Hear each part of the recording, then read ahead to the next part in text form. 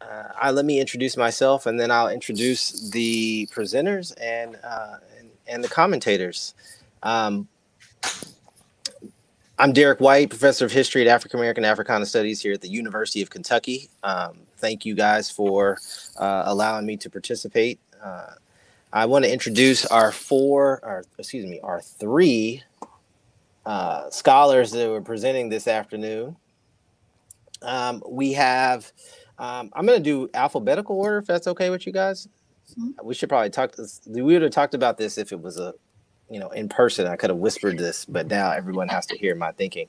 Um, we'll start with Kate Aguilar, uh, who is going to present a paper entitled uh, The Rage to Win Blackness, Masculinity, and the U in the Sun Belt South. Kate, you are at, um, I want to make sure, Gustavus Adolphus yeah, College? Yeah, Gustavus Adolphus College. Okay, good, good, good. Uh, and next, we will be followed by, uh, she will be followed by Christopher L. Stacy uh, at LSU Alexandria talking about pol- populism. Uh, how do you say this? Kayfabe? Is this how we say this? Kayfabe. Kayfabe. Okay. I said it right as a little Southern in me. Um, identity and professional wrestling in Southern political culture in the 70s and 80s. And last but not least, Chuck Westmoreland at Delta State University, a lousy sports town, Charlotte sports, and the question of a major league city, 1969 to 1988. Uh, and then comments by myself and Aram Goudsouzian at the University of Memphis. Thank you guys for uh, all who are attending online. Uh, and Kate, the floor is yours. All right. I'm going to share my screen with you. Hopefully this be able to see. There we go. Okay. It took 13 minutes on May 17, 1980, for the clerk to read the verdicts from the all white, all male Tampa jury. All officers were acquitted in the McDuffie case, the murder of a 33 year old black insurance agent by up to a dozen white Dade County police officers. The shock throughout Black Miami was palpable. Major Clarence Dixon, the highest ranking black police officer in the Miami Police Department, explained all their grievances, all their distrust of the system, all the beliefs people had in the evil of the system, all they had thought was wrong. Suddenly, it turned out to be true. By 6 p.m., the first rocks were thrown in the Northwest 62nd Street area of Liberty City. The 1980 Liberty City Rebellion lasted four days. From Liberty City to Coconut Grove to the Metro Justice Building, Miami was on fire. By May 20th, 10 black people and eight whites had died. Over 800 persons had been arrested, and property damage exceeded $80 million. The City of Miami Police After Action Report centered Black Miamians' despair within the national economic recession and local competition for jobs and housing, noting the recent influx of 30,000 Haitians and 35,000 Cubans. In a survey of Dade County Black residents by the Miami Herald and the Behavioral Science Research Institute of Coral Gables, 90% also listed police brutality as a major issue. The University of Miami was not isolated from the rebellion. On May 20th, the student organization United Black Students held a memorial service in honor of those who had died. The service entitled Justice is Dead reflected the campus community's concerns around police overreach. These concerns were captured in the report The Black Experience at the University of Miami, published by the Committee on the Status of Blacks in 1976. The 44 page report observed that Black students felt they were seen as guilty until proven innocent by campus security, and in fact, an incident with campus police led to the creation of the committee. University of Miami football players, were also enmeshed in the racial politics of the period. Running back Melvin Bratton, who was from Liberty City and graduated from Miami Northwestern Senior High School, stated, We were right there. My high school was right in the rebellion zone. We couldn't go to our homes. The city was burning. He continued, People had to take their hand and stick it out the car to identify them being black. Four years later, violence erupted again after the shooting of a 20 year old black man, Neville Johnson Jr., at a video arcade and the subsequent acquittal by an all white jury of the Hispanic police officer. Cornerback Dwayne Stark said, and I knew the guy. He was a neighbor of mine. James T., a popular radio host for local station Hot 105.1, argued that for the Black community, such experiences to be Black and an athlete were not mutually exclusive. Here, the players were dealing with a city, a county, a community, a country that said, hey, if you're black, you are not really first class. And that's why you had some of the hungriest football players you've ever seen coming out of these communities, he explained. Yet histories of Miami have largely excluded exploration of how college football and its built environment shaped cultural politics on the local, national, and international stage. James T's reflection situates Black players' rage to win within Southern history. This work argues analysis of the U of the 1980s is also critical for the field of African American sports history. In the fall 2021 special issue New Directions in African American Sports History in the Journal of African American History, historian Amira Rose Davis challenges scholars of race and sport to contextualize the Black athlete within the larger framework of African American history. This work explores how the racial and spatial politics of the Sunbelt South informed the framing of the Orange Bowl and the Black athlete at the U. In turn, it asks how does the Black football player's success challenge Sunbelt boosterism? African American history as a field grew out of the activism of the modern civil rights and Black power movements. As studies of Black life increased, so did the further excavation of Black voices to tell their own stories. This paper contributes to this field by showing how the team's play exists within a longer history of racial and spatial exclusion in Miami and the Sun Belt. The city and the Orange Bowl grew up together, both shaped by Sunbelt boosterism, which obscured Black contributions to the city and the team. The 1980s program's visibility was a reminder to all of America that such contributions could not be ignored. The growth of the Sun Belt or the development of suburbia after World War II from Virginia to California was the result of policies and practices upheld by the Federal Housing Administration and the GI Bill that reinforced residential segregation. In 1969, Republican strategist Kevin Phillips described the Sun Belt as a new alloy of conservatism that united voters across the southern rim of the country behind a pro growth, pro family, pro defense, anti labor, and anti statist agenda. The myth of independence, which obscured the federal funding given to highways, low interest mortgages, and the building of stadiums like the Orange Bowl, allowed for a culture of localism. While football historically had been utilized by both liberals and conservatives to invoke U.S. values, during this period, the game gained popularity as representative of American exceptionalism. It became a particular tool of the right to quell American dissent, as the clean cut white college football player represented the anti hippie of the period. Football became a Cold War cultural text utilized to uphold the power of white men. Even after the sport was formally desegregated in 1972, racial stacking limited black players' access to certain positions. Down the middle positions like linebacker and quarterback were considered too cerebral for black athletes, and the utilization of black players in certain roles reinforced a type of white paternalism. Their limited play upheld that black players needed white leadership on and off the field. While football was becoming the national pastime during the 1970s, the moniker the New South gave way to the Sun Belt, an ideal that promised upward mobility for those who controlled political power and the built environment. The framework of the Sun Belt, or the geographic area located south of the 37th parallel, was the creation of white middle class suburban spaces annexed by the city proper to ensure that whites maintained control of municipal politics. Stadiums grew up alongside strip malls, suburban communities, and prisons as a part of the radical reorganization of social space. In fact, religious leaders like Billy Graham, who represented Southern Progress, chastised Sun Belt cities that did not have a stadium in which to hold his rallies. The stadium, like the sport of football, symbolized regional progress. For the city of Miami, both the city and the Orange Bowl matured together. The city of Miami was incorporated in 1896, and the University of Miami formally opened its doors in October of 1926. The fledgling football program played in New Year's Day games in 1927, 1928, and 1929. By 1929, Miami businessmen had gathered to form the Greater Miami Athletic Association. The goal was that someday tourists from the U.S. North and Latin America would flock to Miami for football in the tropics. In 1976, promotional material for the Orange Bowl Lou Price, director of the Miami Metro Department of Publicity and Tourism, sold the stadium as a part of this larger growth narrative. He talked about Miami's port, the nation's newest and most modern of transportation facilities, the largest cruise port in the United States. And the next paragraph celebrated the rise in Orange Bowl attendance from 5,134 spectators in 1934 to a sellout crowd of more than 80,000 in 1975. Sunbelt boosterism celebrated white suburbia and the political savvy of white evangelicals. The magic of Miami centered on a tourist progressive mystique that privileged the warm climate and contributions of white investors and eventually white Cubans, while concealing how Black Miamians built the city and still struggled to gain access to its physical and political spaces. Historian Nathan Connolly explains in the hundred years preceding World War I, the Florida Territory fell mile by mile under the legal authority of the United States and the cultural authority of whiteness.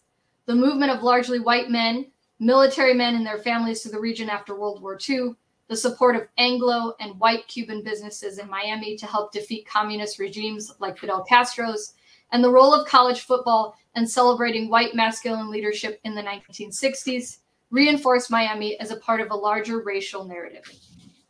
Importantly, such boosterism also opened the door for the integration of the U. The university's commitment to promoting cultural understanding among the Americas through the recruitment of Hispanic students and faculty brought the unintended consequence of bringing in Hispanic students of African descent. Their presence challenged the university's stance on racial segregation. The Board of Trustees eventually passed a policy to accept any qualified student in any of the schools or colleges of the university, regardless of race, creed, or color, on January 31st, 1961. The first Black student to formally enroll was Melvin R. Ladson Jr., age 24.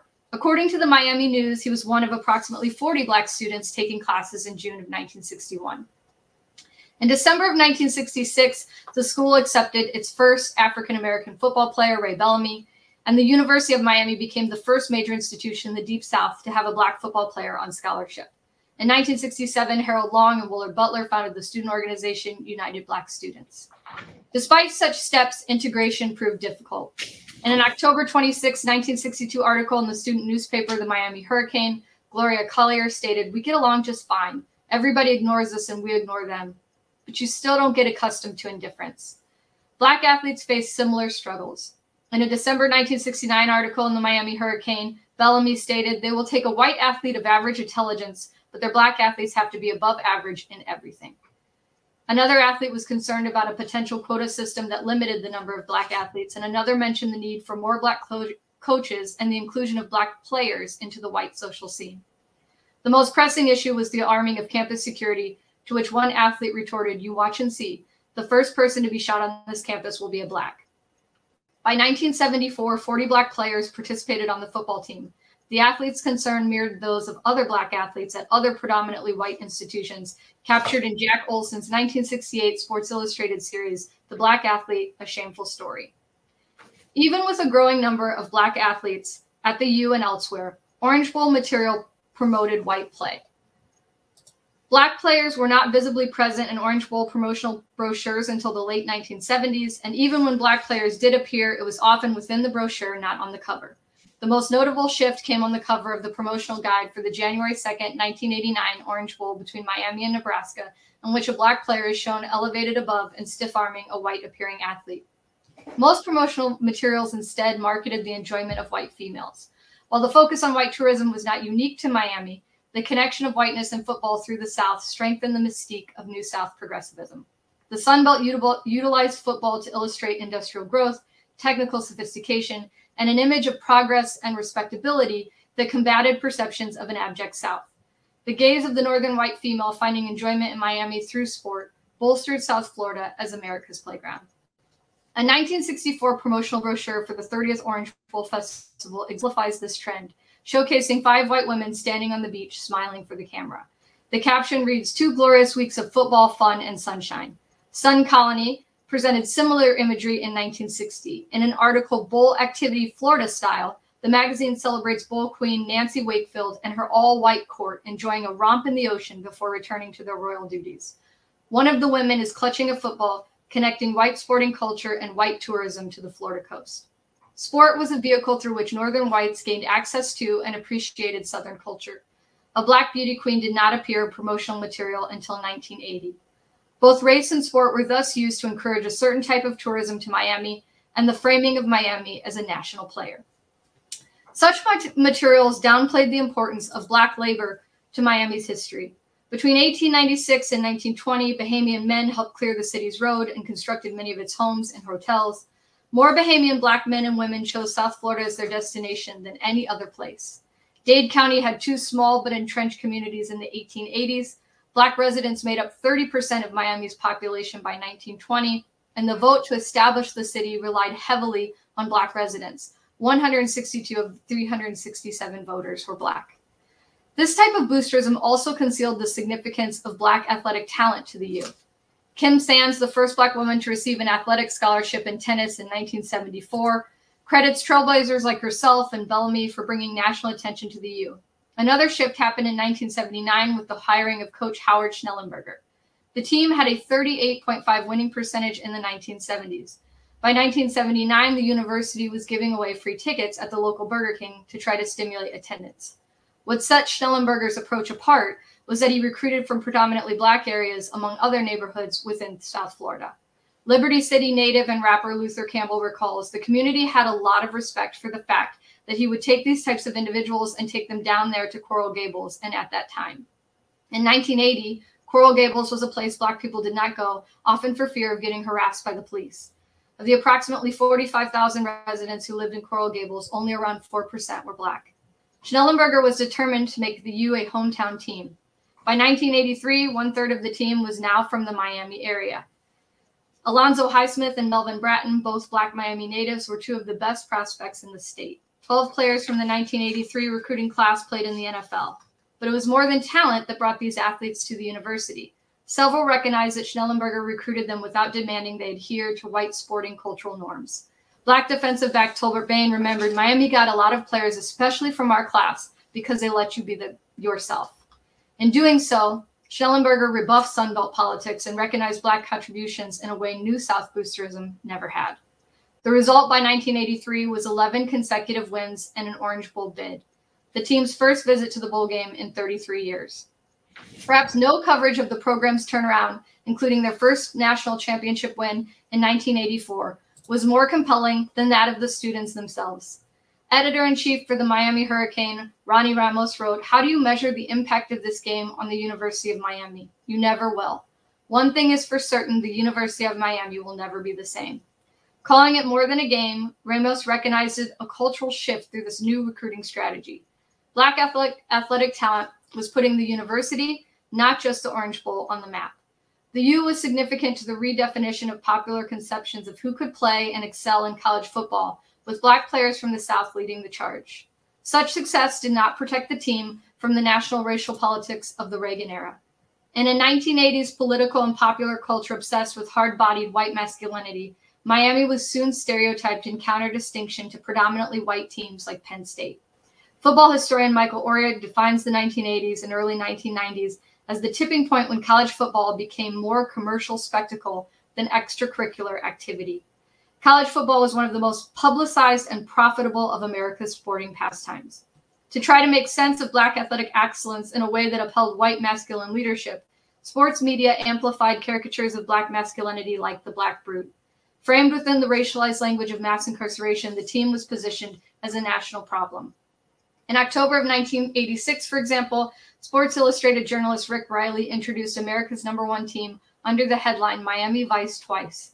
He quipped, This is Miami's record, not football record, but police record. Remember 1985 All America tight end Willie Smith, who, after deciding to forego his final year of eligibility to enter the NFL draft, was arrested on cocaine and weapons charges last June? Since then, there have been fights and fraud and alleged shoplifting and other unsavory shenanigans involving more than 40 players, he wrote. Miami may be the only squad in America that has its team picture taken from the front and from the side. A year later, in a December 1987 article in the Chicago Tribune, Bad Guys Are Back, Robert Markus wrote, Once again, Miami is wearing the black hat. Even playing Oklahoma, a team everybody loves to hate, Miami is cast in the villain's role for Friday night's national championship showdown in the Orange Bowl. Members of the team had had run ins with the law. The problem was that the press painted this criminal activity as a reflection of larger racial and regional deficiencies, a reality not specific to the framing of the white athlete. This image of the black athlete at the U as a national problem buttressed new right political rhetorics that conflated black masculinity, crime, Miami, and the war on drugs. Reaganism leaned on cities like Miami and teams like the U to strengthen the call for leaders like himself. On January 29, 1988, for example, he welcomed the championship college football team to the White House and reminded them to show grace and victory. This example of white paternalism, which used their play as a cautionary tale, positioned him as the rightful regulator of the global South. College athletic scandals were, of course, not specific to Miami. Fullback Alonzo Highsmith later recalled, We didn't have bad guys. Yeah, we might have had some guys who did stupid shit now and then, but people were making us out to be a bunch of gangsters and outlaws. We didn't have any drug problems, and we didn't have guys getting paid under the table by some rich boosters. We're not Oklahoma with these millionaire oil men. Quarterback Steve Walsh agreed, and a lot of other things don't get recognized, like Melvin Bratton working with youth groups, and I do some work with church groups. The criminalization of the U, because of the actions of a few, diminished how significant Black men were to the rise of the city, the program, and the national prominence of the school. Regardless, inclusion of the Black athlete at the U and their athletic excellence on the gridiron cemented the magic of Miami for many. Before these athletes, the team had only been featured once on television. The appearance at the Orange Bowl in 1984 was the team's 14th appearance, representing more than $4 million in revenue. By 1989, the team had won two more national championships and gained the reputation as the team of the 1980s. Home attendance had risen to 45,000, the highest since 1967. The 1980s program garnered several NFL draft records, and although difficult to correlate with football, black attendance at the university was also on the rise. From a peak at 5.3% of the undergraduate population in 1975 76, black students comprised 5.7 percent of the undergraduate student population in 1984, moving up to 7.1% in the fall of 1988. The success of the 1983-1984 national championship team was read in conjunction with the 1980 Liberty City Rebellion. Player Eddie Brown stated, Miami no longer has to hear about the riots, they can talk about the championship game. To which player Jack Fernandez echoed, it doesn't matter what kind of accent you speak with or where you come from, for Miami's college football has brought everyone together. Journalist Dennis Murphy concurred Miami's been waiting a long time to cheer together. 75,000 supporters gathered to celebrate the U. This work demonstrates, however, that this type of promotional press disguises the complexities of the Black athletic experience in South Florida. Some Black athletes were both a part of the team's national success story and members of communities neglected by the city and Reaganomics. Their rage to win, their use of and commitment to the sport must not be separated from this longer history of racial and spatial exclusion that has come to define the Sunbelt era. Miami used the Orange Bowl to advance Sunbelt boosterism, which centered white Americans' play and simultaneously erased Black contributions in the name of Southern progress. President Reagan, among others from the right, patronized the U and used the sport of college football to uphold white masculine cultural exceptionalism and the need for white leadership. Still, Black Miami refused to be ignored. My, black laborers built the city and redefined local culture, including sport, in the process. Their history challenges the invisibility of the Black athlete in this regard to Miami's history. The Black athlete at the U's presence and play ultimately challenges sport, the political landscape, and Miami history as a white man's game. Thank you.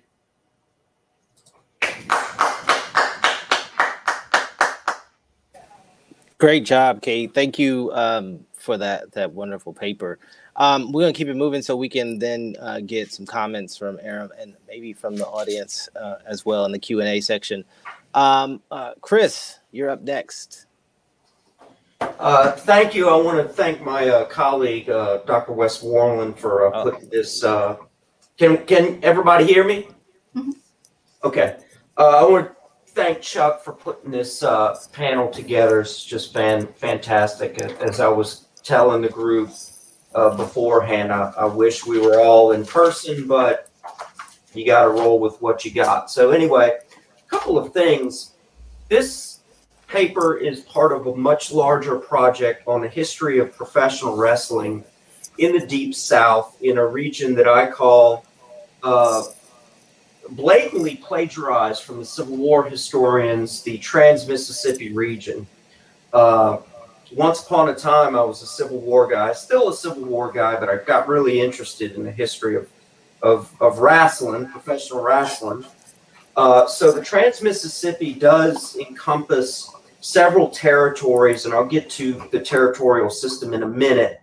But basically, it includes the states of Texas, Oklahoma, Louisiana, Tennessee, Mississippi, and Alabama. So it's it's the region that the Civil War historians look at the Trans Mississippi Theater. So I, I, I blatantly used it as a sort of a geographical organizational uh, tool. Anyway, uh, the book and this paper is about professional wrestling in what was what's called scholars call the territorial period. Basically, during the territorial era, before the advent of the WWE, and oh, we have light, uh, professional wrestling was basically run by an informal car- cartel through what was called the National Wrestling Alliance. And each territory was its own economic and sporting entity. Uh, and there was an informal uh, arrangement among the promoters who own these territories that they would not encroach the borders. Well, of course, quite often they did, but anyway, that's sort of the, the larger contextual uh, explanation for this for this uh, essay. Uh, also, a definition of kayfabe. Kayfabe was the perception of the business, professional wrestling being real. Okay. Uh, now, of course, with the internet and uh, the information age, most everybody, I'm pretty sure some people still believe it's real, but most everybody, most of the consumers of professional wrestling know that uh, the product is choreographed. Don't say fake. Don't say the F word. Don't say fake. It's not fake, folks. They're doing real athletic. There's there's genuine athletic competition going on. It's just the, of course, the matches are predetermined. I'm I'm sorry to to burst anybody's bubble who still believes that wrestling is on the up, but it's not. But during this time period, enough people believed kayfabe is basically the definition of the perception of the believable the believability of the business. This specific essay taps into uh, a wide array of identities that promoters and bookers uh, tapped into, uh, including but not limited to race, ethnicity, class, religion, gender, masculinity, femininity, femininity, femininity and gender nonconformity.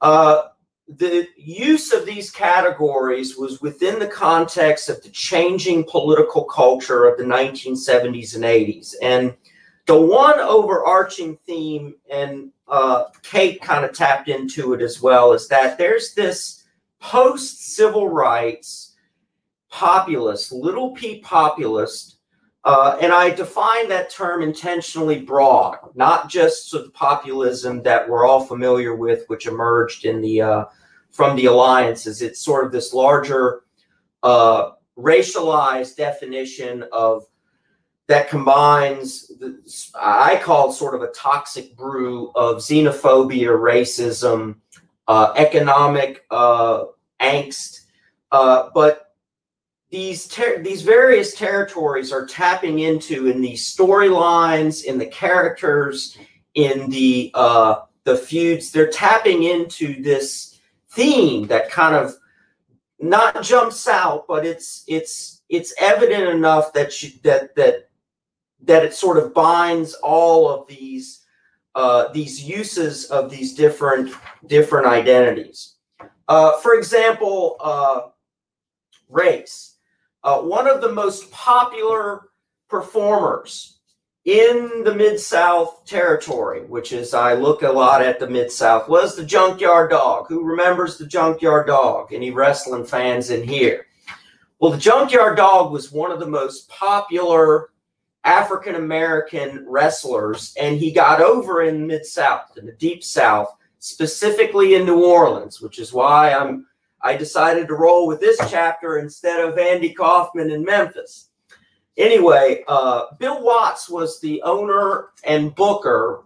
Well, he booked, he had the final say. He had a regular uh, booker, two regular bookers, Ernie Ladd and, and uh, Bill Dundee, uh, but also uh, Jake the Snake's father. But anyway, uh, Watts decided, and I'm assuming it's Watts because Watts often says he doesn't see race, but Watts sees race, right? And a good example is uh, in a loser leave town match, basically they put a, a, mask on JYD to include him still in the territory. In other words, they're they're they're gimmicking him leaving the territory. They put a mask on him and they call him Stagger Lee. And I did some research on Stagger Lee, and lo and behold, there's this incredibly nuanced story about a murder. Uh, and I'll just read part of the essay here, underscoring the subtlety of Watts, uh, Watts's utilization of race in his approach to booking. He had JYD put on a mask and come back as Stagger Lee. The fact that Stagger Lee was JYD was obvious. The symbolism of his name, not so much. Mid South's African Americans were the most likely fan demographic to know the meaning of the Stagger Lee gimmick. The name came from scores of blues ballads recounting the story of an infamous murder in, Saint, in a St. Louis bar involving two black men. In 1895, on Christmas Eve, Stagger Lee Shelton and Billy Lyons got into a heated discussion over politics and a Stetson hat. The end result was Stagger Lee shooting Billy Lyons. The murder was immortalized in African American blues as part of the story of black masculinity and betrayal. Uh, the point here is that uh, there's some incredible nuance and thought going into reaching a demographic, which is pretty typical of of these promotions, which are distilling these these gimmicks and characters, the nuance into sort of simple dichotomy of good guy versus bad guy. But if you, but, and, and I'm assuming here that somebody, whether it be JYD or Watts, had some sort of passing knowledge of of this, the existence of this uh, this type of folklore. Uh, the other blatant one, and I'm, I'm, I'm I kind of crossed it out because of time, uh, Kamala is a very, very simplistic caricature of an African. Uh, uh, Harris was his real name. He was from Coldwater, Mississippi, but that gimmick was uh, in a lot of primary sources. They knew what they were doing. Uh, uh, James Harris himself comments in his book, I knew it was a racialized gimmick and tapping into a stereotype, but I want to make some money. Uh, I kind of tap into as a theoretical basis for this chapter, uh, although I didn't uh, understand most of it. Edward Said's Orientalism is sort of a, a, a much larger theoretical basis for essentializing others. Uh, so again, there's some there's some theoretical basis for what these bookers and owners of these territories are doing to create wrestling characters to build storylines, feuds, and and of course their ultimate objective is to make money. Okay. Uh, one of the interesting things too they do is to the the ethnic bad guy. Here was we begin with post World War II Nazis, but of course Japanese Americans were depicted as as uh, bad guys, heels. Uh, one of the most interesting characters uh, was a man by the name of Skandar Akbar, real, uh, real name Jimmy Said Wehba. Uh, he basically depicted this stereotypical Middle Eastern uh, oil mogul, I guess is the best uh, word to uh, describe him. And, and they booked him in deliberate storylines that tapped into Americans in the 70s and 80s growing suspicion and mis misperceptions and depictions of people from the, the Middle East. And of course, this is happening during right on the heels of uh, uh, the hostage crisis and, and the oil embargo. So there's some really thoughtfulness to whipping up the crowds and building storylines and building characters. Cold War villains is another one that's pretty common. Uh, Russians who weren't really Russians were depicted within the milieu of, of uh, Cold War politics. But again, all of these characters or gimmicks are set in a much larger context of the new right and the emergence of what I call sort of little p populism in the South, which is you know it's it's it's a relatively new field of of his, historiography that historians are just now getting into especially looking at the South. But this populism, too, this nuance of populism emerges within the fabulous Freebirds. Now, by first glance, the Freebirds uh, were a, tag team, a, a, a six man tag. There were three of them. And they came to the ring wearing Confederate robes. Now, at first glance, you're, you're going to say, well, they're tapping into the lost cause and Southerners' affinity for the, the, the Confederate flag. Well, wait a minute, hold on.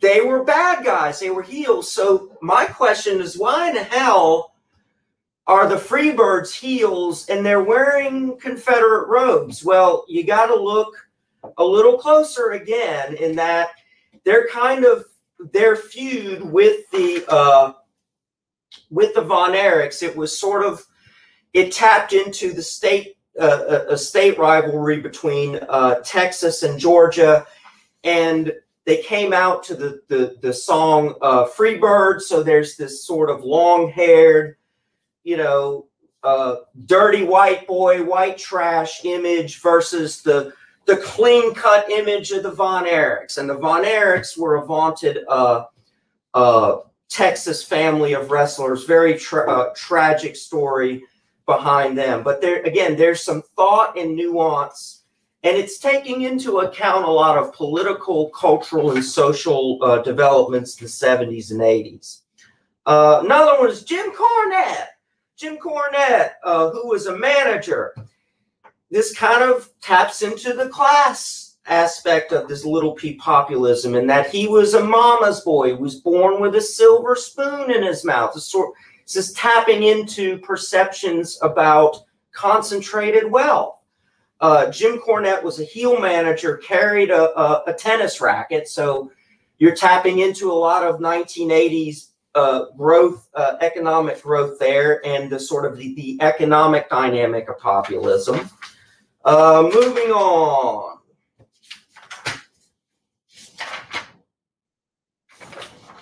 Gender, I think. Uh, women. One of the most interesting things in this chapter that I found was, of course, women in the 70s and 80s began to be depicted more beyond just ballets. They're starting to participate in angles, and obviously they're depicted as having a lot of, uh, uh, you know, as eye candy and sex appeal. But gender nonconformity to me is the most fascinating uh, sort of uh, gender aspect of, of, of creating characters in, in storylines. Uh, in the 1960s, Adrian Street, exotic Adrian Street, who was from Wales, uh, developed this gimmick where he was a cross-dresser. And this again, this goes back to uh, you know, Gorgeous George and how he got over as a as a uh, not necessarily a homosexual, but in and again, I use gender nonconformity because think of Goldust Goldust is not necessarily a homosexual character. He's not necessarily a cross-dresser. He's something else. He's not heterosexual, right? So Adrian Street, I'm sorry, I gotta shut up. Anyway, Adrian Street again was depicted as a bad guy. So uh, I'm looking at several categories here, and just to conclude, why? Why are these bookers creating these storylines and characters with some nuance and tapping into all of these identities which are transforming? Money. They want to draw uh, an, in, an increasingly interracial audience, but they want to maximize their profits and, and keep people tuning in and going to the ring or going to the matches. Anyway, that's all I got. Thank you very much.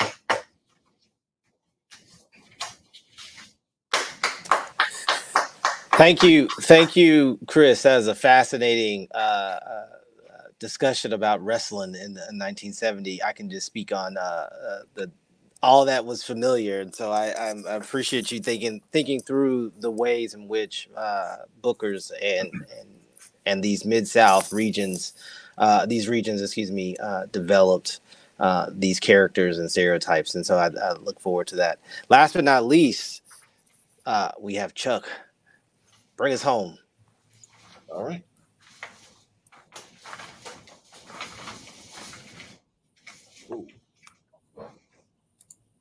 Was that flashing? Yes, sir.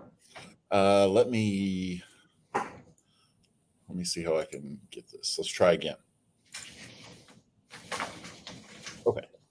How's that? Can everyone see that? Hear me okay? Okay.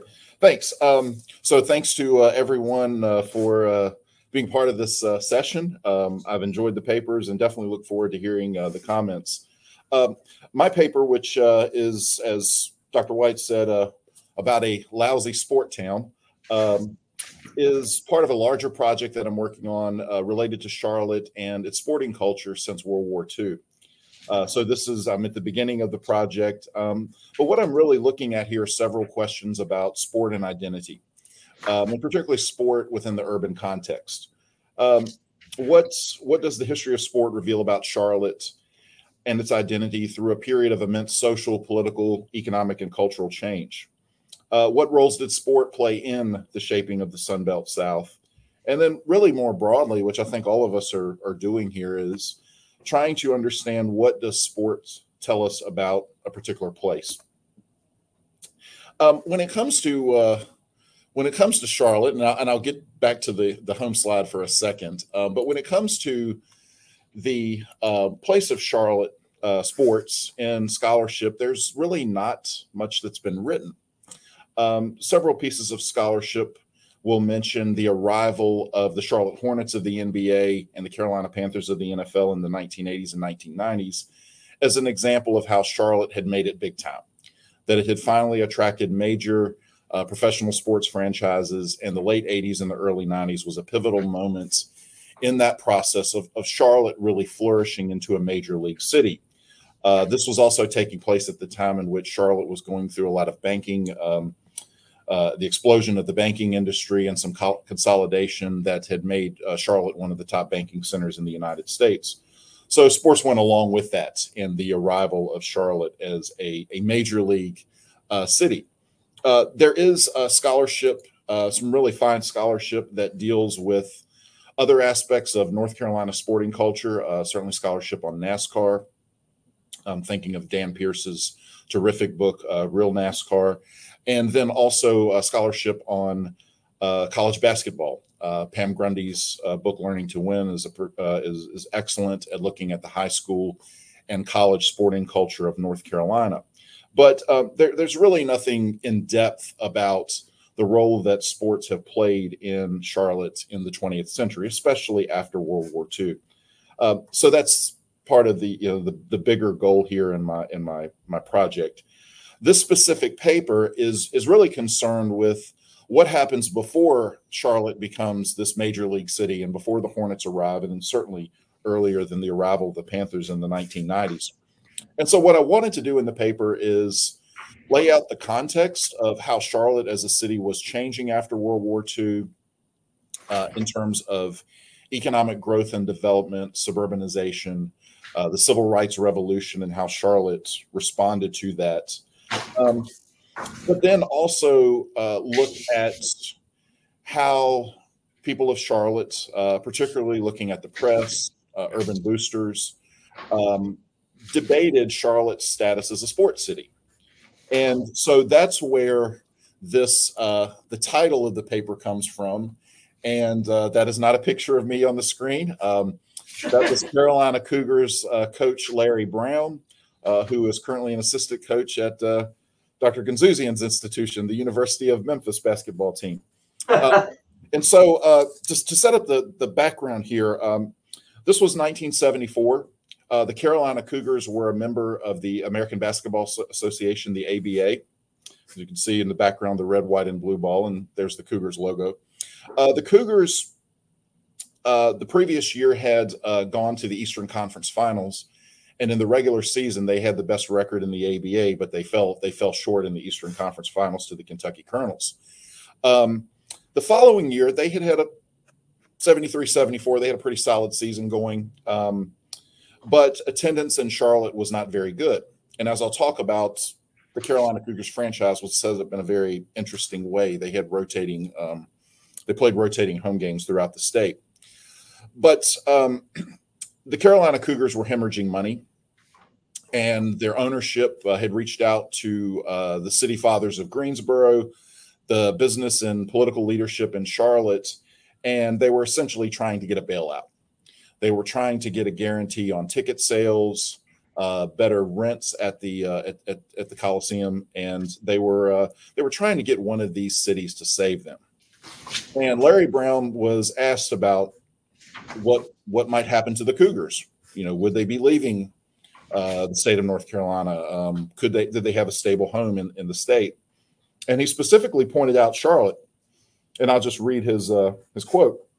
He said, "I don't think we should play in Charlotte. People will get mad at me, but I think Charlotte is a lousy sports town. All they're interested in is stock car racing." And um, this this comment really really resonated um, not just in, the short term, but over the next couple of decades.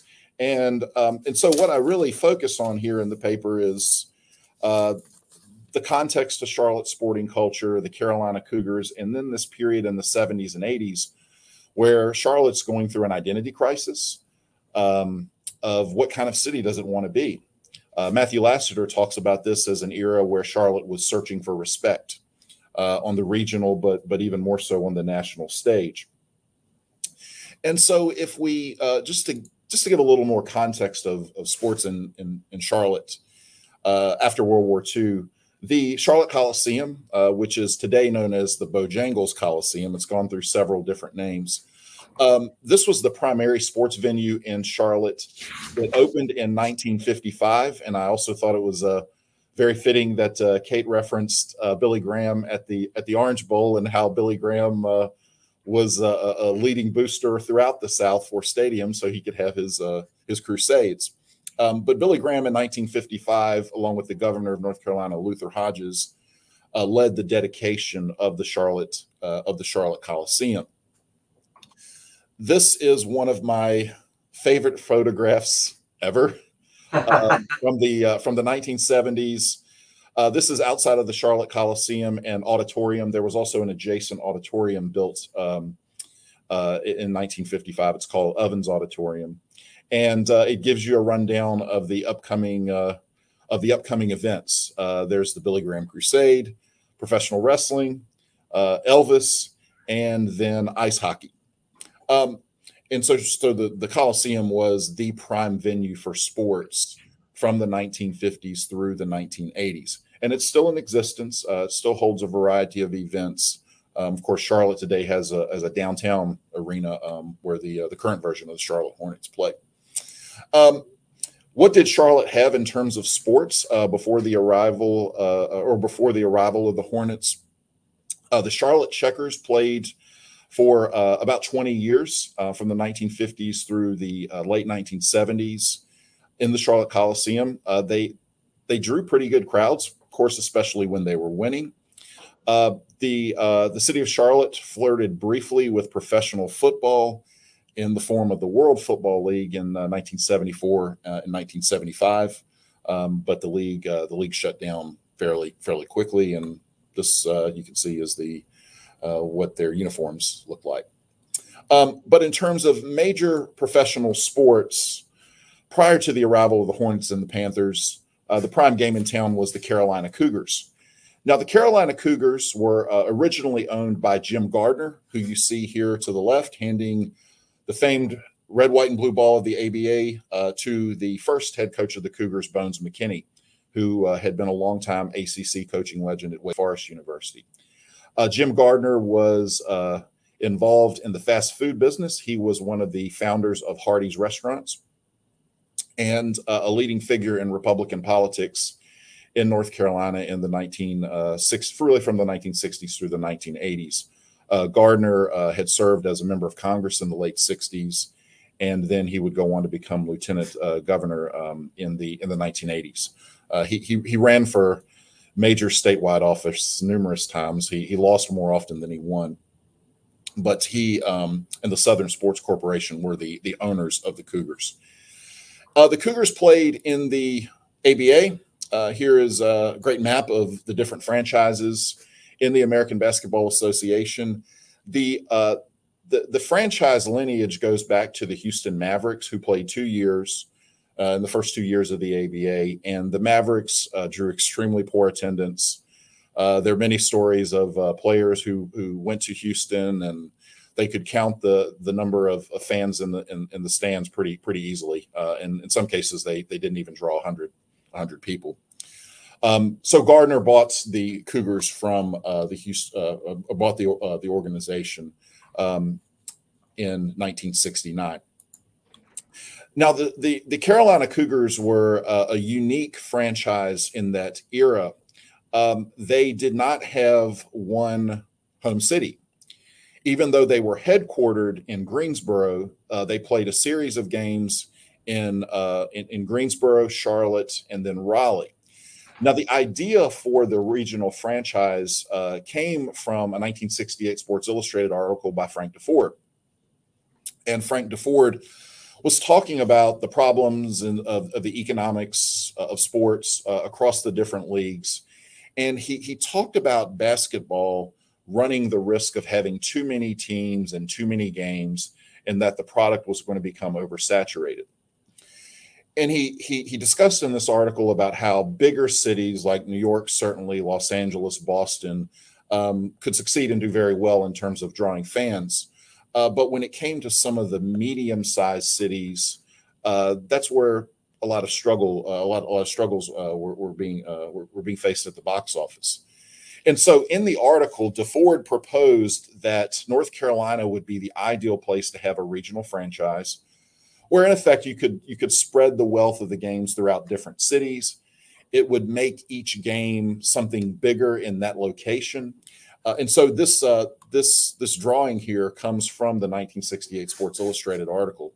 Um, Jim Gardner and, and Jim Gardner's brother uh, had read the had read the piece and thought it was a great idea. Uh, the ABA uh, entry fee was was was pretty low, so it, it gave gave gave more more businessmen the opportunity to buy into the league, and so um, uh, the Carolina Cougars were formed in 1969 after moving from um, Houston. Uh, the Cougars had a very regional flavor, like a lot of uh, ABA teams. They uh, they drafted uh, and signed players who were from colleges in in in the in that state or in nearby states. Uh, the Cougars wanted to sign players that would be familiar with uh, their fan bases in in Greensboro and Raleigh and in Charlotte. And so the profile that you see over here to the left is of the first uh, first group of Carolina Cougars. Uh, Bob Verga, who was the leading scorer on the team, he played at Duke.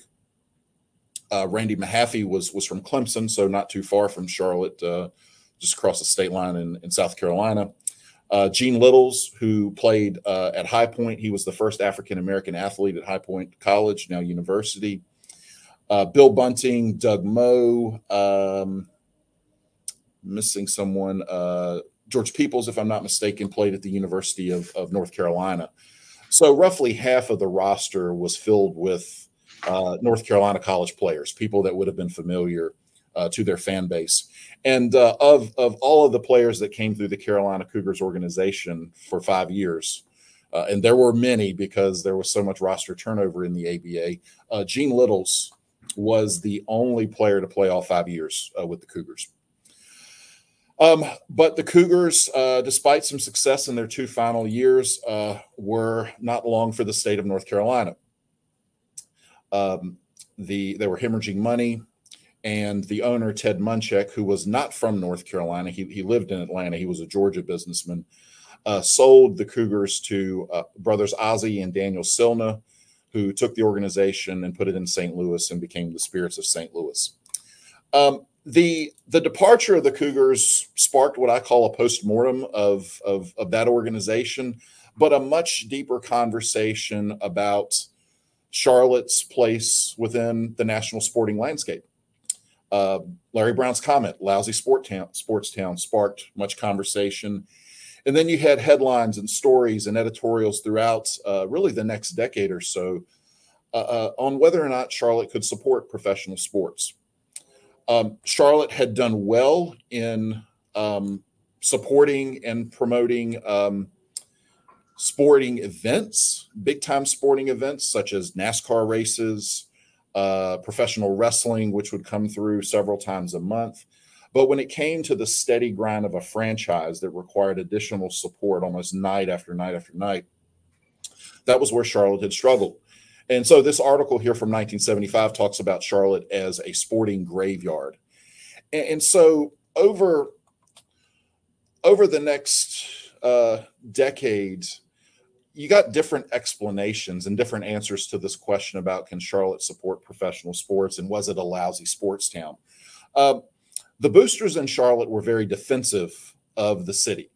And particularly when it came to the Carolina Cougars, the defenders usually said, hey, the Cougars were not Charlotte's team. Uh, the Cougars were really Greensboro's team. Uh, and, and various writers and members of the team often talked about how the uh, Greensboro seemed to get the best matchups that were going to draw more uh, draw more people in attendance. And Charlotte and then and then Raleigh by the, the about by 1974 were, were getting the leftovers. And the argument from Charlotte's boosters, um, from the Chamber of Commerce through the press, said that Charlotte was a good sports town, but it wasn't just going to support any franchise simply because it was major league. That the product had to be promoted well, there had to be close cooperation and buy-in from the business community, um, and also uh, Charlotte did have other options of sports uh, in terms of live sports options, but also television. Um, and one of the common uh, common remarks made about why the Cougars didn't succeed in North Carolina uh, came down to college basketball, and that if people in Charlotte could watch a primetime game involving UNC, NC State, Duke, many of them would choose that rather than going and paying a ticket at the Coliseum to see uh, to see the Cougars. And so, college basketball uh, was seen as a form of competition um, uh, to uh, to the Cougars, but also a form of competition around the state, um, and, and, a competition for places like Greensboro and and Raleigh. Um, one of the common arguments uh, made by supporters of of Charlotte becoming a major league city and attracting a big franchise was that um, Charlotte had the the income, Charlotte had the sporting fan base, but Charlotte by the 1970s and early 80s needed a new coliseum. So we get into much discussion, bond debates, bond votes by the early 1980s uh, involving whether or not to use public funding to build uh, a new coliseum. And this this this image here from the Charlotte Observer shows possible possible sites. Um, today, the arena for the for the Charlotte Hornets is uptown. Um, later uh, or earlier, the Charlotte Hornets would build an arena off of uh, Billy Graham Parkway um, outside of the outside of the center city. Um, so I'm just going to wrap up here because I know we're running out of time. But um, where, where, where my story progresses here and moving forward with the larger project is, is wanting to look at the lead up to the arrival of the Charlotte Hornets. Um, in 1981, uh, the city of Charlotte voted on a bond to um, to uh, provide funding for the creation of a new coliseum, also uh, greater greater funding for infrastructure, roads, sewage systems, and that bond failed there was another bond vote in 1984, and by that time, the mayor of the city was Harvey Gantt. Uh, Harvey Gantt was the first uh, African American mayor of Charlotte. Um, he uh, he was an African American mayor in a predominantly white city, um, and and and Gantt had and would form very close bonds with Charlotte's white business community, and um, for those aspiring to be able to bring in a professional sports franchise, NBA, for example, they knew that Charlotte needed to have a Coliseum ready and waiting.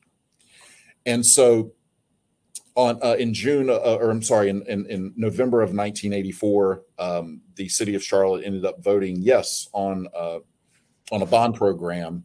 Harvey Gantt was pounding the pavement, uh, really seeking public support for this so that the vote would succeed. Um, advertisements like this were uh, were, were, printed constantly through uh, the Charlotte Post, which was Charlotte's African American newspaper, and um, and the bond ended up uh, succeeding.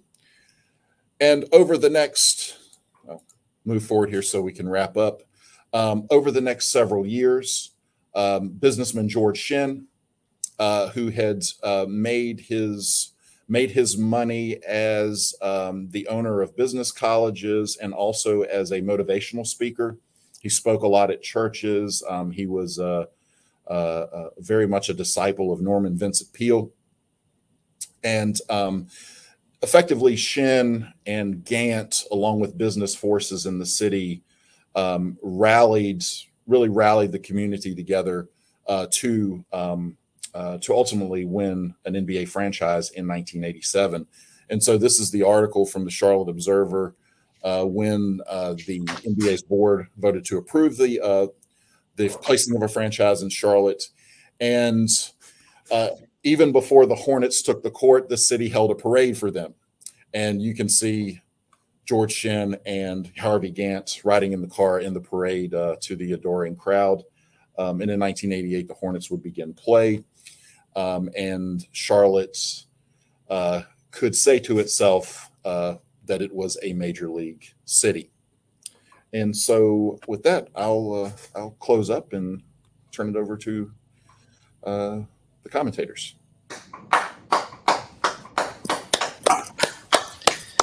Great, great job by um, all three of you. Uh, those are fascinating papers about uh, the intersections of sports and regional identity. Um, Aram, I'll let you uh, open the comments, and then I'll I'll chime in, and then and then we'll see if there's any in the chat. Um, question and answer. I think is that where we're supposed to. Yes. So if you have if if you're here and you want to put a question in, use please use the Q and A. Uh, I'll be monitoring that as well. Uh, floor is yours, Aram. Thank you, Derek. I am now an old man, so I have to wear my reading glasses while I do this. Um, thank you to our three panelists. Uh, those were all uh, very interesting papers, very well researched. Um, and I also want to commend the panel for really finding subjects that really intersect with each other. Uh, there's a lot of overlap here in themes and ideas uh, that can really help us sort of more broadly consider uh, the idea of the Sun Belt and the role that sports uh, play in it. My only regret is that we're doing this virtually and not meeting for Sazeracs and beignets and po' boys afterwards. Um, okay. Together, I think these three papers illustrate a lot of the major forces that are shaping Southern identity in the 1970s and 1980s. The Sunbelt mentality of civic boosterism and economic growth, in a way that kind of papers over the racial strife and the inequality of Southern history. Uh, in the case of sports, we see that, for instance, through stadium building, through business leaders calling for big time sports as a marker of civic identity. Uh, we also see the complexities of African American identity uh, in the post civil rights era. Uh, we see that especially through Kate's paper with the frustrations of the Miami football players, who have these stigma of criminals. But we also see it in the construction of some of the uh, Southern wrestling characters that Christopher talked about, like Junkyard Dog or Kamala, the Ugandan giant. Uh, and we also see the rise of this forceful white Southern populism uh, that's really starting to shape the nation's political realignment. Um, and the Fabulous Freebirds are, of course, a dramatic example of that. Uh, to quote from Christopher's paper, they're the quote, dirty Peckerwood rednecks with long hair who came out of the hills of Georgia or the mean streets of Atlanta. I got to say, these papers also had me reflecting on my own sports fandom as a youth. Uh, when I was a kid, like Derek, I marveled at the acrobatics of the Von Erich brothers. I loved the Junkyard Dog. Um, but I also found myself reflecting on why I cheered against the Miami football teams of the 1980s. Uh, I remember in the Nebraska uh, game in the 1984 Orange Bowl or the famous Catholics versus convicts game against Notre Dame. Uh, and that was a choice undoubtedly shaped by the racial narratives of the of the time and also my own racial biases. Right, uh, I'm neither connected to a you know, I was a Armenian kid from Boston, and yet I was identifying with white Nebraskans and Catholics. Um, so you know, it spoke it spoke to uh, I think to a lot of the themes that, that Kate was trying to get us to think about. Um, reading Chuck's paper actually got me thinking about a more recent experience. When I first moved to Memphis in 2004, uh, the Memphis Grizzlies had moved there three years earlier. Uh, and they were a very good team at the time, or at least a, a quite good team. You had a young Pau Gasol. They won 50 games every year. Hubie Brown was the coach then. Um, but there was very relatively little fan enthusiasm for the team. It didn't seem like they were part of the city yet in the way that, for instance, the college basketball team, the Memphis Tigers, were. Uh, it would take the next generation teams, of Zach Randolph and Mike Conley, to really create an identity that was connected to the city. And it was kind of a reminder to me of that sort of complex nature of sports fandom itself. Uh, when you cre- to create a connection between a team and a city, uh, it's more than just the demographic profile that Frank Deford wrote about in 1968, right? Uh, that you need an emotional or a spiritual or a personal component to that. And so in Chuck's paper, A Lousy Sports Town, Charlotte and the Quest for a Major League City, 1974 and 1988, right? Uh, he's telling, talking about a, a, distinct city from Memphis in Charlotte in a different period, right? Charlotte, unlike Memphis, really embraced that New South identity. Memphis really failed to do that. Uh, it had a very forward looking elite that was rooted in business development, that projected this ideal of racial harmony, uh, and used, tried to use sports anyway, as a signifier of that larger mentality, right? Uh, so as uh, Chuck's uh, paper discussed, right, you have this nexus of Charlotte, Raleigh, Durham, Greensboro, Winston-Salem, uh, that can be the base for a big league sports franchise. But as the experience of the Carolina Cougars shows us, right, that's not an automatic qualifier for sports enthusiasm. Um, I thought the great strength in Chuck's paper, but also what I wanted to know more about uh, and to build upon was in these years, 74 to 88, uh, thinking about that sports vacuum as a vehicle for how the people of Charlotte see their own city, right? If there's no pro sports franchise, then who are they? Right? Uh, and this seems to be a question that a lot of cities are asking themselves in the same period. Uh, and I think it might be fruitful, just for context, to think a little bit more about how this is going on all around the country. Uh, I know from when I was writing the Bill Russell book, for instance, that uh, Seattle was going through these conversations in the 70s with, with, the pilots and then ultimately with the Sonics. Um, but I think it's going on at every sort of second tier city. You know, Memphis, where I live now, of course, was a constant place for expansion franchises because it's kind of that next tier city, right? That doesn't necessarily have one. Um, but it's also, I think the uh, the real arena for development, uh, if this is going to be a book project, is to think a little bit more about um, those civic boosters, about the Jim Gardners, about the George Shinns, right? In a lot of ways, you're telling a story about uh, this kind of that, I, that seems to me like uh, common in the South. These uh, white entrepreneurs who uh, envision a place for their city, uh, and that's some combination of civic pride, some combination of ego, some combination of economic self-interest, some combination of, of civic good, right? Uh, and thinking more about these sometimes larger than life personalities and, and sort of the, the, the incredible influence that they can have over, over the course of the city, right? Um, it's a handful of people sometimes who are really dictating what makes Memphis go down and what makes Charlotte go up in these same years, you know? Um, in your paper, you'd also mentioned about how the African American community really got behind the bond issue um, uh, that ultimately built the stadium that attracted uh, the Hornets. And I was curious to, to learn more about that. Uh, was there any fallout? Was it because of the association with with Mayor Gantt? Uh, it was it was it was a, a, little side note in there, but but it did strike my interest, and I wondered if there was more to develop with that. Um, so yeah, I think these are this was a, an outstanding paper. I, I was curious more about that, sort of thinking about the general tenor of expansion in this period because you've got the you know the World Hockey League, the ABA in basketball, the WHA, the uh, football, you know, various football expansion leagues, including the USFL in the 1980s. Uh, think about sort of like the work of Thomas Aiello that I know you cited with basketball. He's starting to touch on that with Southern Identity. Uh, I'm going to move on to Kate's paper. Uh, the, uh, Kate Aguiar's The Rage to Win, the Black Athlete and the U in the Sun Belt South.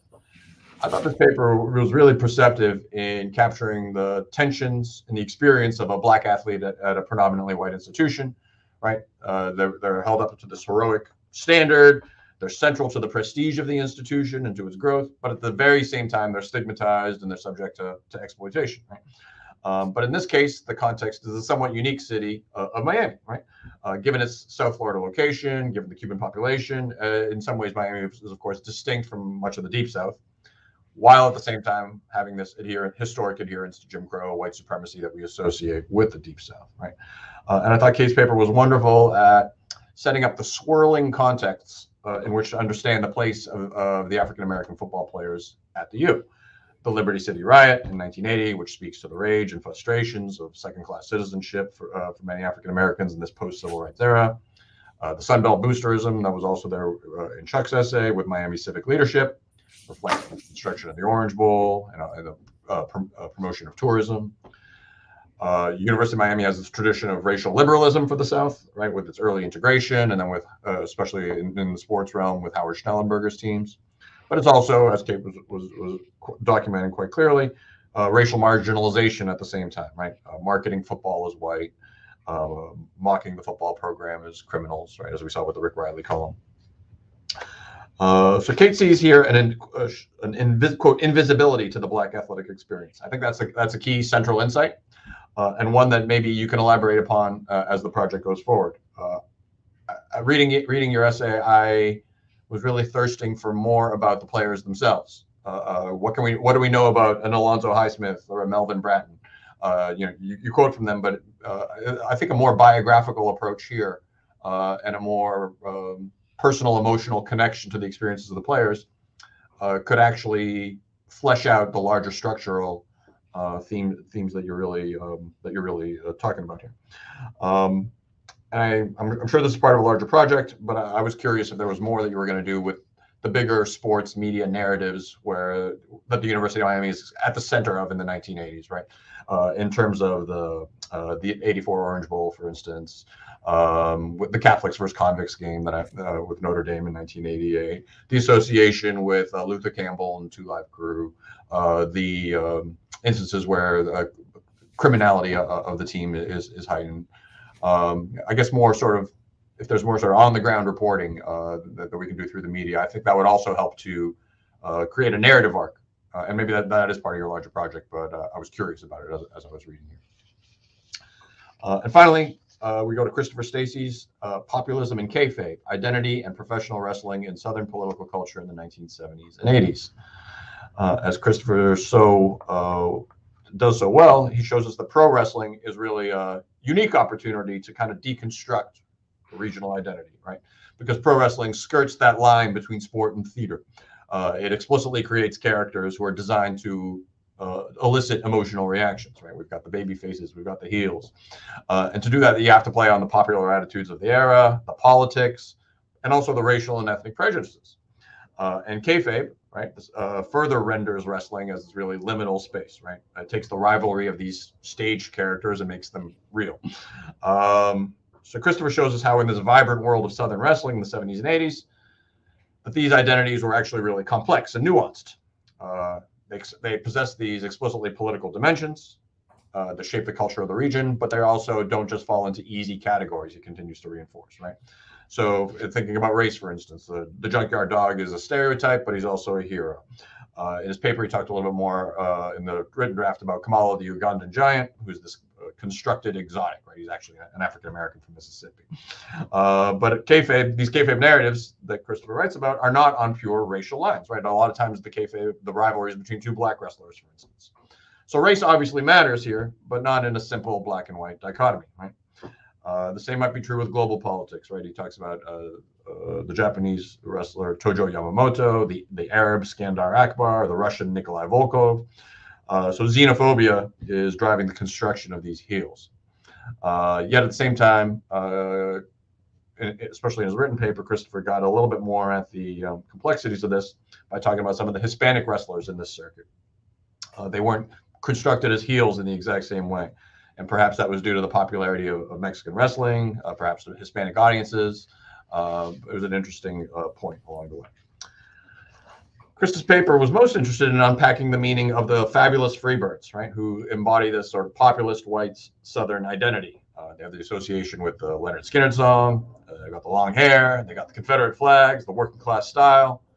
There's a contrast to the Von Erichs, who are kind of like the aristocrats of the Southern uh, wrestling world.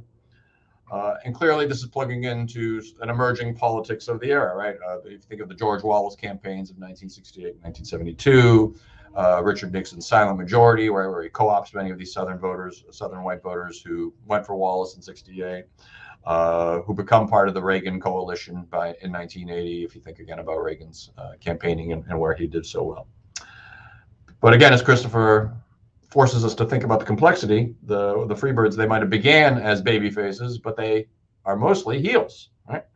Uh, villains, and uh, that is seems to be the, the, the most important theme to continue to unpack uh, as this goes forward. Uh, this needs uh, it's a, it's such a key insight, but it needs more analysis and development. How do the fans react to them? Uh, what does that tell us? Uh, can we paint more scenes on the ground of the Freebirds to help us understand this, right? Their style, their self presentation, what their bouts were like, their interactions with fans, fan reaction, who's cheering, who's booing. Uh, do the fans themselves identify with the heels? I, I, um, I, think there's more to do with react with audience response here, uh, as well as how the Freebirds present themselves. And I think that could add another layer to this ongoing discussion, right? Uh, as all three papers emphasize, sports don't just portray narratives of the Sunbelt, Sunbelt, Sunbelt South. They're also part of the region's larger narrative itself. Okay, thank you. I'll turn it over to Derek. No, thank you, Aaron. Those are, I think, fantastic comments. I want to add because I, I, I don't want to take up all the time, and I see at least one question in the Q and A, and so I want to say a couple things that I I think just as broad strategies that I'd like to see moving forward that I saw in all three papers. One is, um, and Aaron, you hinted at this uh, with the Freebirds. How what is the fa- like in all three papers? I think we really got an understanding of the structure of how uh, your approach. So whether it's in Chuck's paper looking at the boosters, in Kate's paper looking at the university and the city, how it's understanding itself, and uh, Chris's paper looking at uh, the the bookers and the owners of the the various regions. But how do the fans react, and what are the differing kind of reactions uh, across race? I think the question um, that Aaron asked about uh, Harvey Gantt about how does the black community, you know, come out? Uh, you know, how do their vote do their votes change for this bond initiative? How do how are they envisioning uh, this being a first class city? How do they take even to um, uh, to some of the black players uh, on some of these teams, right? Uh, most famously, and this is my this is personally selfish, right? Jim McDaniels is a is a is really uh, a star here at Western in Western Kentucky, right? And he's the first pick, and you know um, of that club. But he he he leaves mid-season, right, uh, to go to Seattle uh, into the NBA, and so that speaks to the kind of not only the the challenges financially, but also you know what uh, how are white fans envisioning these black athletes as part of the way that they imagine a first class city. Kate, for you, um, uh, this is kind of my wheelhouse, so I know a lot. I probably know more about Miami than I probably need to. Um, but your point about tourism, uh, you know, how does the the that Florida A&M? I talk about this in my book. This Florida A&M has the Orange Blossom Classic, which from 47 to to 19, I want to say 79 uh, is played in Miami every single year, and it is really for the Black community the defining uh, event, tourist event, the first Saturday in December that allows for the Black community to, in many ways, participate in the same kind of tourism that comes to define the Orange Bowl. And so, you know, I think there's something to be said about the fact that you can't get the the you of the 1980s that Howard Schnellenberger moves into until you have this kind of decline of Florida A&M. Like there's a space for for those folks to come in. Um, I think most notably about someone like Traz Powell, who was a longtime teacher at Northwestern, I believe, at Booker T. Washington and Northwestern, football coach who is a Florida A&M alum. Um, you know, what do we see these black coaches in in facilitating someone like these players, Highsmith and Bratton? Uh, I think Highsmith's dad actually played at Florida A&M, and so there's making a conscious decision to say, "Oh, you, you're going to reject this legacy and move and play for the University of Miami." Uh, I think there's a, there, I think there's something to be to that that kind of needs to be teased out a little bit in understanding the broader. Because when you put the McDuffie riots on top of that, now you have to figure out how does your racial identity play itself out now that you're in this space that is Coral Gables. Um, Chris, I think that I think that the the the way that the that wrestling constructs these cities, uh, constructs and reconstructs and uses these um, these caricatures in these cities uh, is fascinating to think about. Uh, and I think, as Aaron points out, the fabulous Freebirds as as a heel. Um, what does it mean? Are there are the are the identities and caricatures do they differ from region to you talk about this trans mississippi region but is there something that that's more effective in say memphis than it is in charlotte right? And how do we understand some of these subtle regional differences? I think that in total all three of these papers speak to uh, aaron you talked about this the second class the second tier and sometimes third tier cities right And I think that that sport is so important in the way that all these cities imagine themselves. Even cities that then eventually become first here, whether it's Houston or Atlanta. Um, uh, but the question of you know Memphis, uh, uh, Charlotte, uh, Miami, Louisville, uh, Nashville, right? These are all that next tier cities that are often grasping at these fleeting leagues. I think there's a whole argument to be made about uh, when you look at the ABA, for instance, how you know, like, look at where all these teams, you know, the Kentucky Colonels are out of Louisville, and you've got you know the St. Louis, and you've got the um, you know you've got all these San Antonio, like we have Indianapolis, we have cities that that that were not Boston or New York or Chicago. Uh, and I think that part of these this identity, this national identity, but also regional identity, is so much rooted into sports. And what was not really clear, I think Kate was probably the closest, is how the civil rights, how these these cities in particular imagine the civil rights movement as part of their projection of this sports series. Um, you know, a city like Memphis always struggles uh, Aaron knows this is it's the place where King was killed, right? And so it has a hard time projecting. But like a city like Atlanta is, you know, is too busy to hate. A city too busy to hate. And I think that when you think about um, both uh, uh, Charlotte, which is a city that is that banking kind of projects this similar kind of image to Atlanta, and Miami always sells its diversity in a particular way, right? That it's like, look how diverse we are uh, UM says, well, we're not going to segregate because we've had Latino students at UM since the 30s. Uh, and so, how do we explain and justify this? And so, they part of their selling themselves and selling the city is an international city. Um, one of your one of your slides, Kate, had uh, of the Orange Bowl had all these international flags on it, and it's very much the way Miami constructs itself. And so thinking about how these sports are so integral in the way that they're defining themselves, but uh, their future, but also how they define their past. And so something like the McDuffie riots interrupts that. Whereas in Charlotte, you know, how do we see the busing crisis, you know, transform their push for a city? How does wrestling play into the ways in which we see some of these, you know, the key stops, right, in, in, in the various uh, in the various markets, New Orleans, uh, Memphis, Atlanta, Charlotte. How do those cities? How does wrestling and and those caricatures and stereotypes? How do they affect the way they imagine? Um, before we go, I'm gonna let you guys come in. I got one question, uh, and and uh, uh, Lashonda Mims asks wants to know how your research, today's research, fits into a larger project, um, and because she's selfishly interested in your project, Chuck. That's that's that's exactly in the thing. So I'm gonna give you guys a couple of minutes to respond, uh, and I'll start with you, Kate, if you want to add anything here, and then we'll work our way around and we'll wrap it up. Okay, first of all, I just want to say thank you both so much, Aram and Derek, for your wonderful comments. And again, Chuck, for putting this panel together, and Chris for I mean, your amazing work as well. I'm honored to be a part of it. And to answer your question, it's a great question, Lashonda. And I actually enjoyed when Aaron was talking about Two Live Crew. So the very next chapter of this work is on Two Live Crew and their relationship to the team and connecting that. And so it is a part of a larger project called um, in the eyes of the hurricane. So it's Miami football race and American conservatism. So looking at the larger moment, and as Derek mentioned, um, an international moment. And so really the central uh, questions of the larger work is to explore the shift from 1962 when Miami and the Orange Bowl was used to welcome white tourists and white Cubans. So looking at that moment with JFK and and he's in the Orange Bowl and he's using the stadium in a particular way.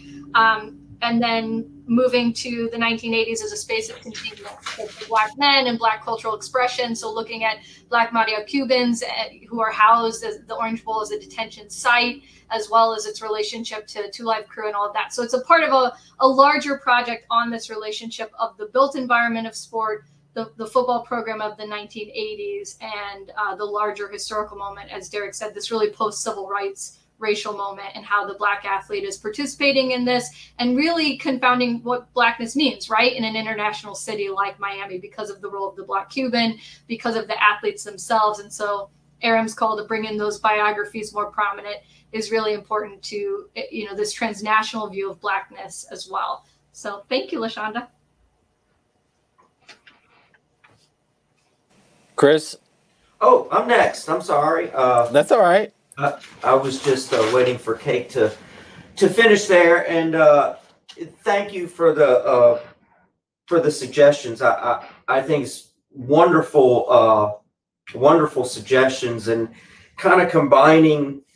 Uh, I can do a hell of a lot more with the Freebirds, but similar to Kate, uh, I have a separate chapter which kind of examines professional wrestling's role within the civil rights movement. However, I can very much see uh, adding to this chapter how the different cities imagine themselves at in the 70s and 80s. That's something that I can easily do and incorporate it. And it's something that I really didn't think about because uh, as as Chuck knows, I'm I've mostly resided in in the 19th century in the antebellum era. I'm a recent convert, so to speak, but uh, I can definitely look at more how the Freebirds, because professional wrestling is very much a lot like other sports in that it differs from city to city. And I'm also fascinated by this notion of second and third tier cities. I don't know much about it. I, I can get with Chuck because he's the expert, but I think you've tapped into something here because this is where a lot of these second and third, these smaller towns and cities, uh, is where a lot of these territories are going and making money too, in addition to the Houston's, the New Orleans. So, uh, thank you for the, the the great direction. I'm I'm definitely going to chase adding to this chapter because I do think I wouldn't even have to change the title because it's identity, right? It's regional identity, but it's it's it's city, it's urban identity. So, and it's something. Uh, and I have a question for everyone. Uh, did everybody understand the context, the, the the use of the term populism? Because I really haven't found someone who or some article or book that articulates a definition beyond just what emerged in the late 19th century with the Farmers Alliance, along with this sort of catch-all term that refers to the uh, uh, refers to to not only the political culture of racism, but but this economic angst. So, do you think that's uh, that's a useful term because I do define it in the introduction. That was just a question to everybody. Anybody? No, I think. Well, I'll just jump in real quick. I think. I think you. Um, I think that there's a, a whole lot of. I mean, I guess the question of populism has to be teased out from massive resistance, right? Like, in, if you think about the civil rights movement, uh, and maybe Aaron can, can can think think about this a little differently than I do, but I think of of of not just the racism and the populism and economics, but I do think that when we look at, I think the scholarship on the Sun Belt does a very good job of breaking us from kind of the massive resistance of a place like Birmingham, right, to to the the anti-busing movement, right. Aaron talks about this that Nixon really taps into with the Southern strategy.